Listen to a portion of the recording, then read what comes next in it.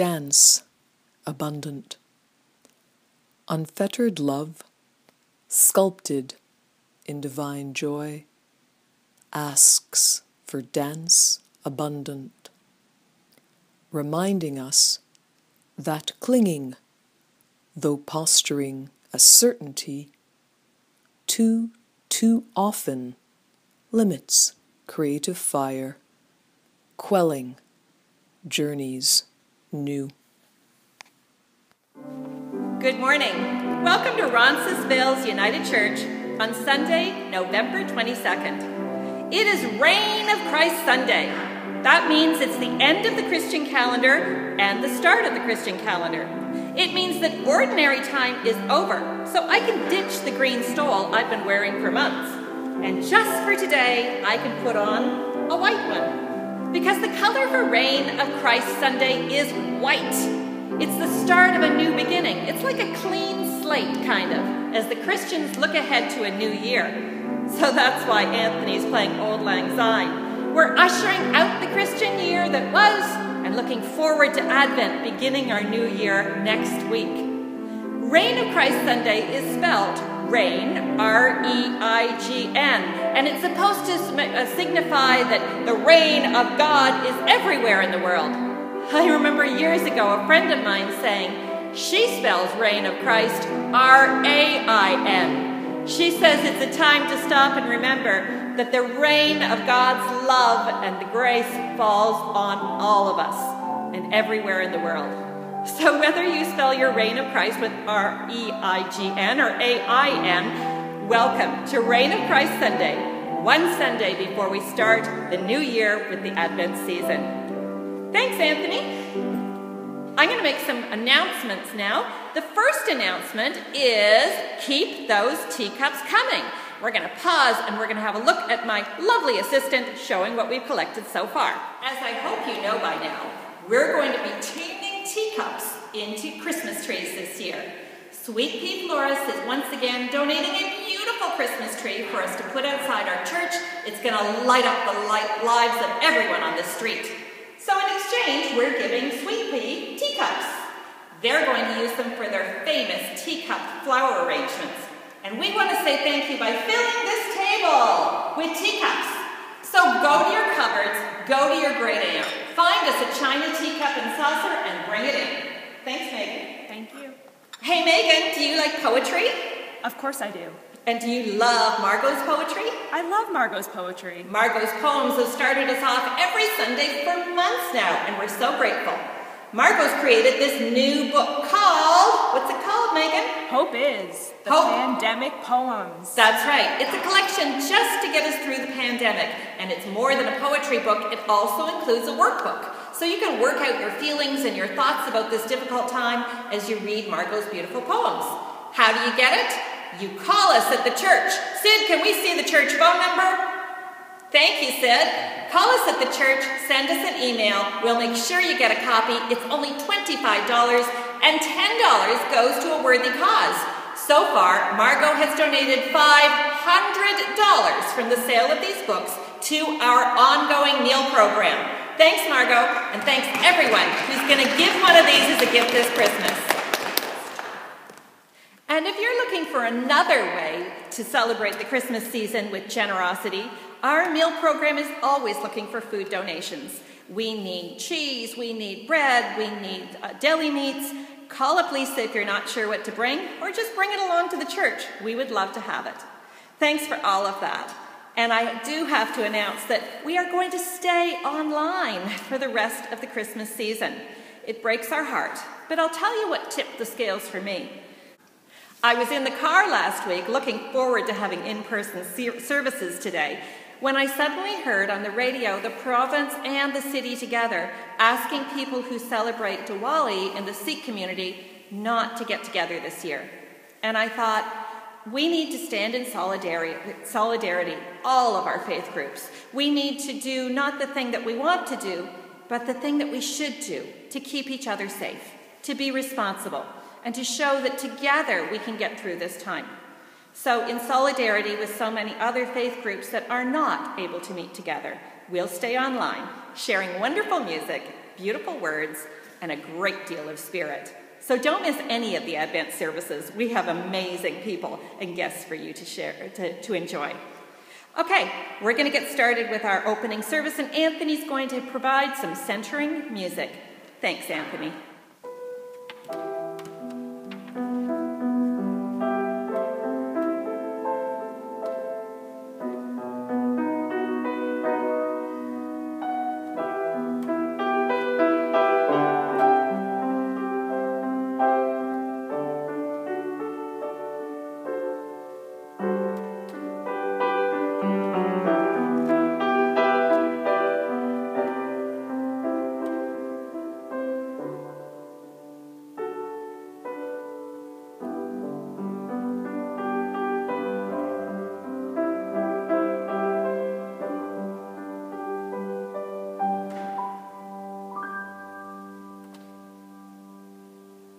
Today's poem, A New Year's Wish, by author unknown. At the sound of the tolling midnight bell, a brand new year will begin. Let's raise our hopes in a confident toast to the promise it ushers in. May your battles be few, your pleasure many, your wishes and dreams fulfilled. May your confidence stand in the face of loss and give you the strength to rebuild. May peace of heart fill all your days. May serenity grace your soul. May tranquil moments bless your life and keep your spirit whole.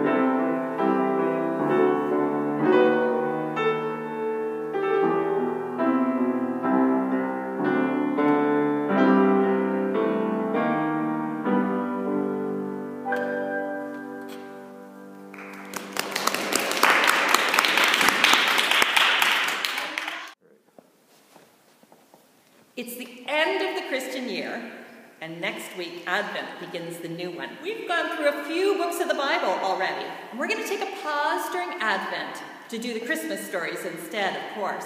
But I want to recap the books that we have done on our great Bible adventure so far. So let's see if we can name all of the books of the Bible that we've done so far, in order, of course. Here we go Genesis, Exodus, Leviticus, Numbers, Deuteronomy, Joshua, Judges. Today it's the book of Judges. Judges is a transitional book, kind of. In Judges, the Israelite people have left the slavery of Egypt, crossed the desert, gone into Canaan, and started to establish their society. But they're not quite in the promised land yet. I mean, they are physically, they're in the land that God promised to them, but they haven't yet formed a stable government. They haven't yet created a society as they would recognize a real society. They haven't yet appointed a king. They're instead in this transitional period where each tribe has appointed some kind of judge, who is often not a judge as we understand it, but a military leader. So that's what we're going to be talking about today. What Judges has to talk, tell us about transitional times, times when we feel like we're in the middle of something. We've left where we were, but we're not quite where we're promised by God we're going to be. We're somewhere in the middle.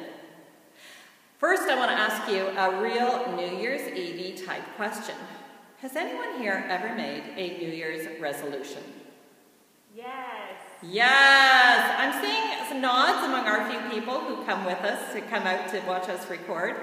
But I can guarantee you that there are very few people in the world who haven't at least thought about making a New Year's resolution. I used to say I make New Year's resolutions every year and I keep them all. Mostly I keep them in a bottom drawer where I don't have to look at them and remember that I didn't keep any. In fact, most of us apparently who make New Year's resolutions keep them less than three weeks, which is very discouraging. It's really hard to make a change, isn't it? We can see where we want to go. We can see where we've been. We can know that we're moving from something we don't want to something we really want. But that time in the middle can be so hard. And it's not just keeping a resolution that's hard. We find the same in the start of anything new. At the beginning, we're so excited. A new baby, a new job, a new relationship. COVID's coming. We got this. We're going to be strong. We're going to get through this. We will stand together and come out better. I said that myself.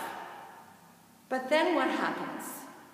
Well, the child grows into a teenager and we no longer recognize them as one of our own. We want to get them tested because we're sure they cannot be biologically linked to us and behave this way. Or the job goes on and we find that we don't like some of our coworkers and maybe our boss gets on our nerves. Or perhaps the new relationship runs smack into the reality of who we actually are. Or maybe it's this long stretch of COVID which caused us to open our church one day in September and then be told that the responsible thing was to close it the next. This long stretch of COVID, which has made me so excited to be with people again on Sunday morning, and forced us to do the responsible thing, which is say that this Christmas we won't be together, except online. It's that long stretch in between, between the excitement of beginning something with great intention, with energy, with enthusiasm, and reaching the promised land, the end that God has promised us, which is bringing us through to peace and hope and a better world. It's that middle part where it is so, so hard sometimes not to get discouraged, to keep the faith. And this applies to just about everything that we undertake. The book of Judges is, as I say, a transitional book. The Israelites have had the excitement and the triumph of leaving Egypt and laying down their years as slaves. They have crossed the desert, which was really hard, a sharp awakening of what was in store for them in this promised land journey. They have fought and bickered among themselves and with God. They have starved, they have worried, they have fallen short. But finally, they reach Canaan. They reach the promised land, the place where they believe they're going to be settled forever as God has promised. And even then, they find themselves still in a transition period, in a kind of middle ground. They find themselves a group of 12 different tribes ruled by 12 different leaders. There's not a lot of cohesion. They're still fighting wars with people. They're still struggling to find their way. They know that God will bring them into a peaceful and settled society. but they're having trouble keeping faith in this middle ground. The book of Judges, as someone pointed out to me this week, is actually quite a hopeful book. It talks about several stories where human beings devote themselves to going God's way, things go well, human beings get discouraged, human beings get angry, human beings think it's just taking too long, human beings think, okay, God, this can't really, but what you had in store, as you said, things were going to work out. Human beings fall prey to their fear voices, and human beings mess up. And then human beings pick themselves up and go back to God. This story happens over and over and over in the Bible, but it's very marked in the book of Judges, where in one book, we see this story retold through many people's lives, many times. The book of Judges contains some wonderful stories. There are unexpected heroes. There are people who live the way they want and get what they deserve. We like that, don't we? Megan pointed out to me that there's a wonderful story where a woman drops an, uh, a rock on the head of a man who really deserves it. So anytime we think women are hard done by in the Bible, and they are, turn to the book of Judges. You'll get a different picture. There's the famous story of Samson and Delilah. You know the one. Samson was a great Israelite warrior. He had the strength of many, many men. He fell smitten with Delilah, who was from another, uh, a foreign country altogether. And she finally wormed out of him after many times of asking what the source of his strength was. It was kept in his hair. So one night while he was sleeping in, with his head in her lap, she cut off her hair and ended his strength. I will confess, when I heard that story in Sunday school, I thought Delilah was the heroine of the story. I thought, wow, she used what she had and she got what she wanted and she saved her people. I was told by my Sunday school teacher that I had missed the point entirely. But I still think, yay, Delilah, way to go, girl.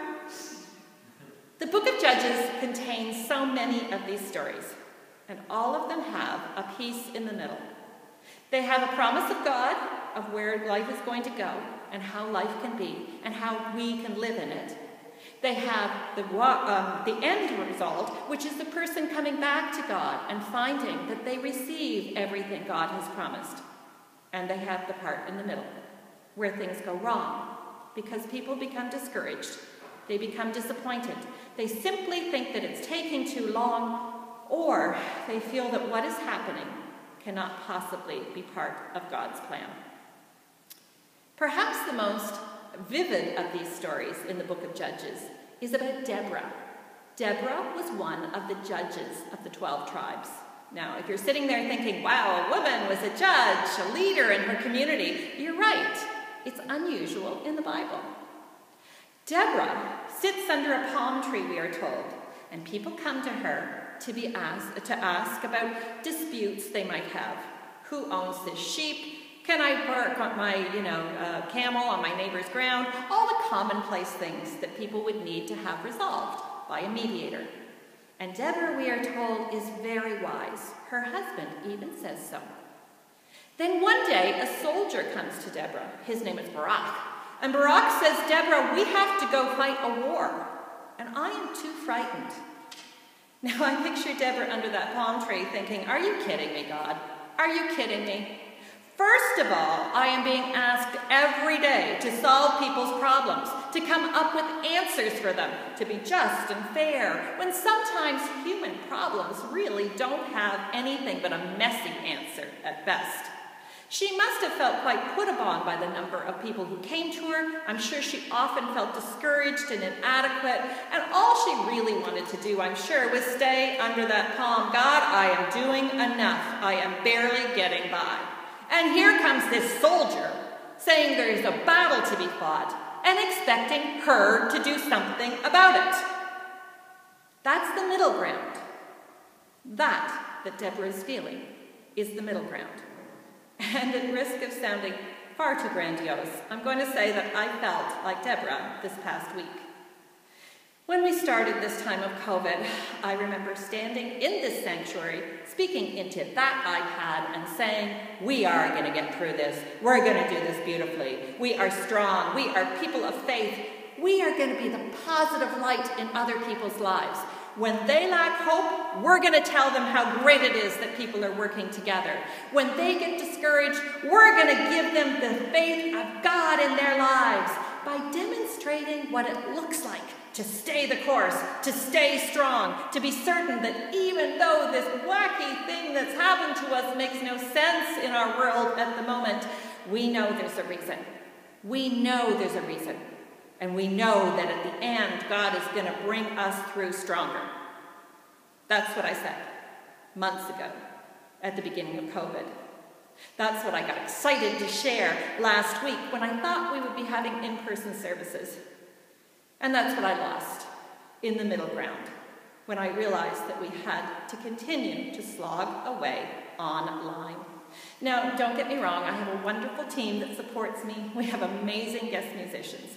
We even have a few people that come out every Sunday, uh, every Wednesday to watch our recording. But it's not the same, is it? And honestly, I remember sitting at home a few nights ago thinking, I don't have it anymore, God.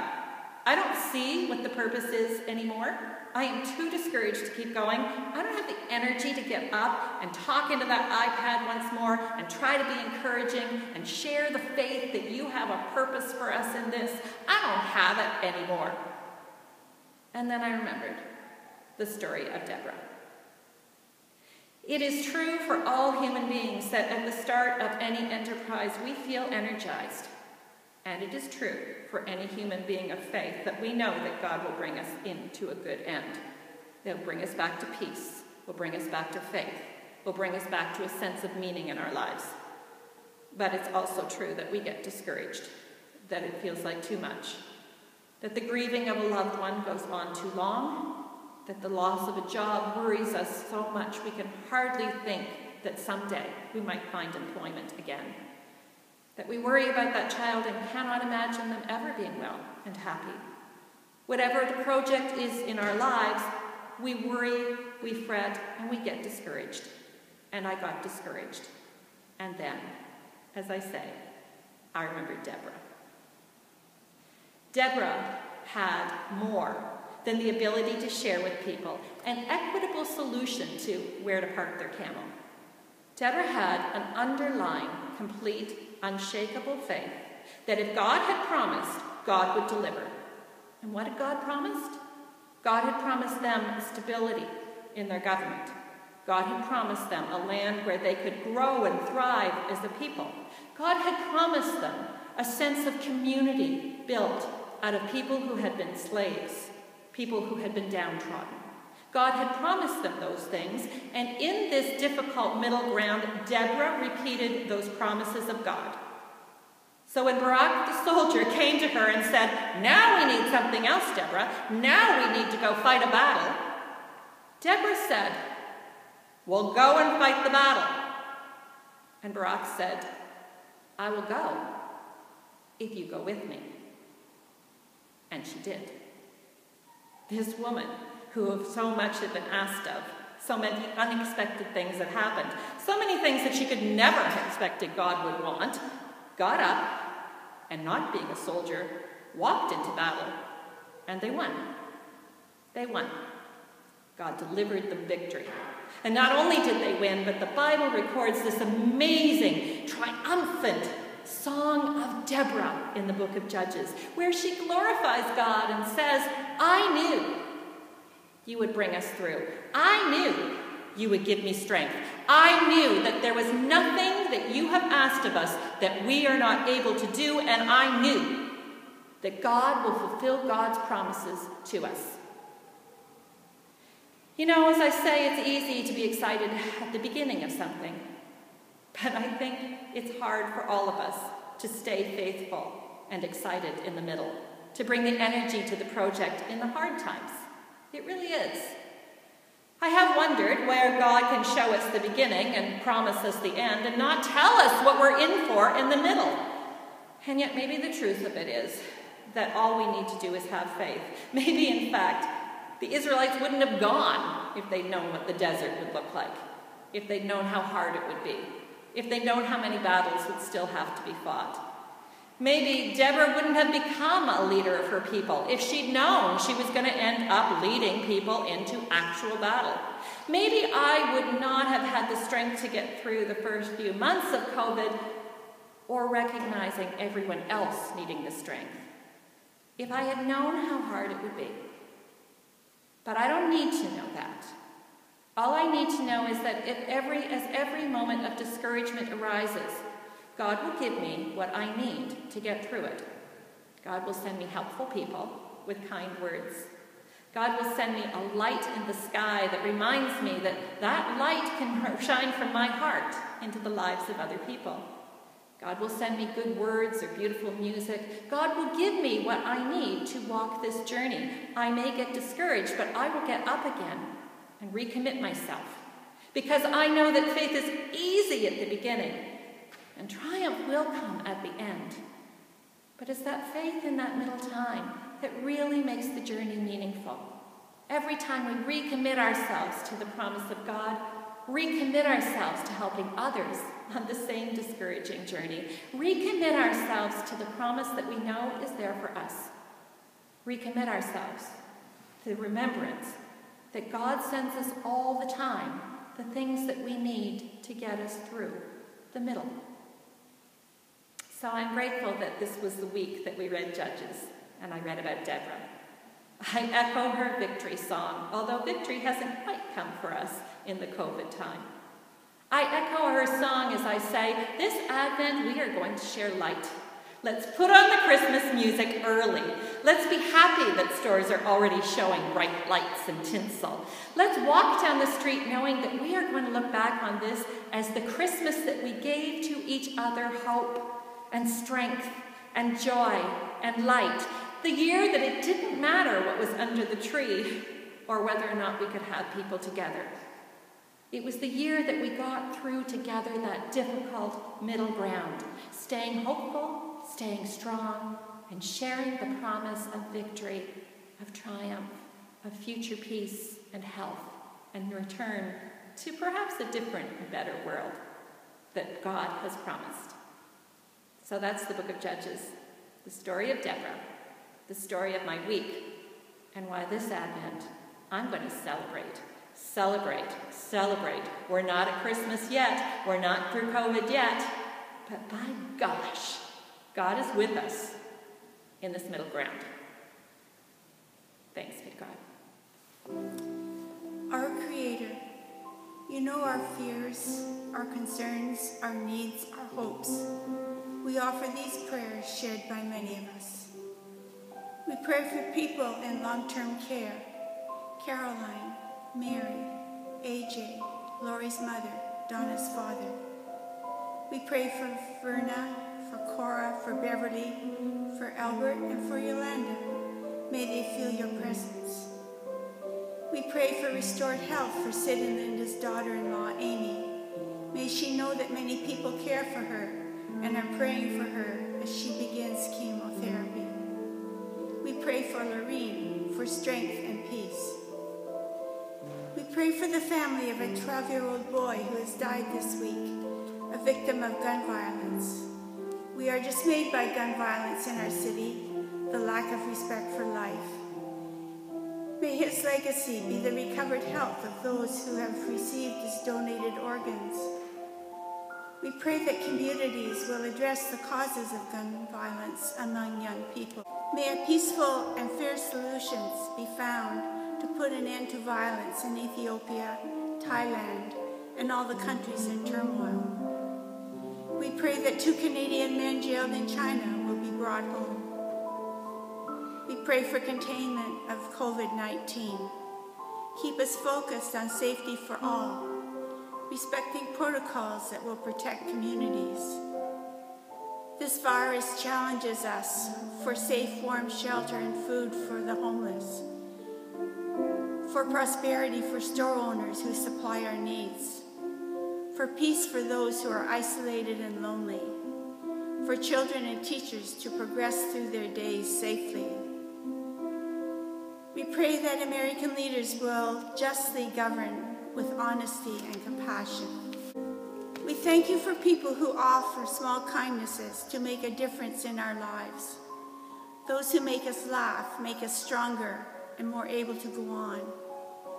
Thank you for everyone who supports the work of RUC and other faith communities who offer support and service to their own communities. We are grateful to Sid, who films and produces our online services. We wish him a happy birthday, and a happy birthday to Emmett and Charlie Evans also, who have been part of these services on occasion. Hear our prayers. Amen. Thank you for joining us today, and we look forward to sharing the next four weeks of Advent services with you. We do have wonderful music coming. We're going to have our Christmas tree on. We've got lots of great things to share. And so that's it for Reign of God Sunday. Next week, Advent, sparkle, stars, Christmas stories. We are so ready for a little happy. We'll see you next week. And may the love of God, the grace of our Lord Jesus Christ, and the fellowship and communion of the Holy Spirit rest and abide upon us, everyone, now and forever. Amen.